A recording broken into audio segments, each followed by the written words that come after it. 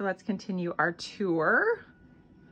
So you can see down here, you know, drywall was put up, but um, we're missing it on this side. Um, we're also missing these as well.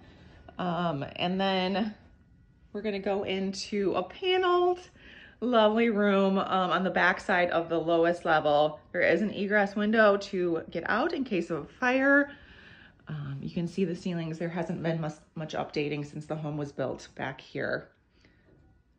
Again, I'm not seeing any issues on the ceiling from leakage, which is wonderful.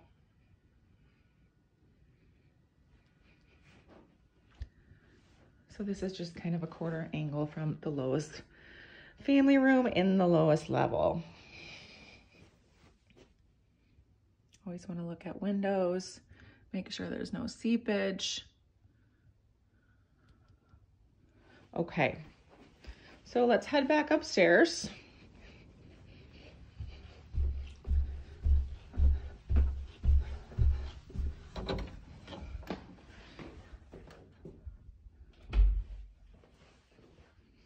Getting outside to your backyard, walk out. Definitely get your workout in this home, which is great. I actually grew up in a split level, so they're dear to my heart. We're gonna go up to the low, the highest level, the upper level, I should say. This is where you're gonna find your other three bedrooms. Two of the three are on a bit on the smaller side, but definitely doable. Closet space. You could probably fit a queen bed in here. There wouldn't be much room for anything else, maybe a dresser. And then we're gonna go into the second room.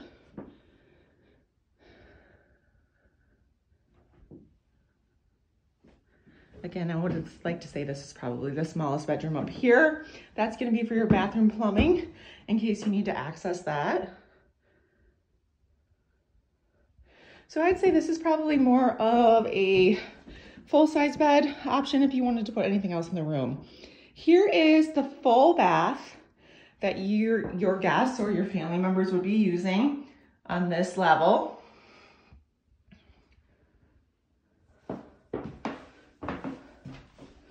And as you can see, there's a cup, there's some paint chipping away right there. Um, and that actually happened on my own home in my basement too as well. Not significant of any water damage. It just looks like um, it was not a professional paint job. And sometimes that happens. So this is going to be the master ensuite. Okay, so this is a nice size room, absolutely. You could get a king in here, no problem, have lots of extra space for other items.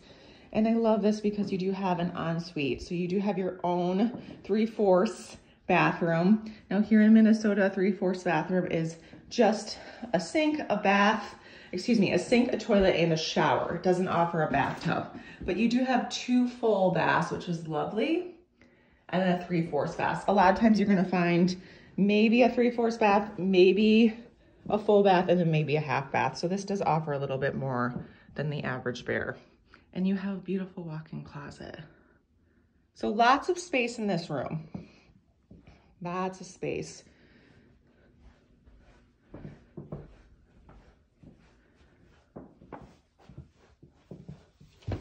We're gonna go back downstairs and we are just gonna get one last view from the front door so you can kind of see what it looks like to come in from the front door, the entryway, the light, this lovely bonus room right here, and you can just see all the natural light. So let me know if you have any other questions on this one, okay? Thanks.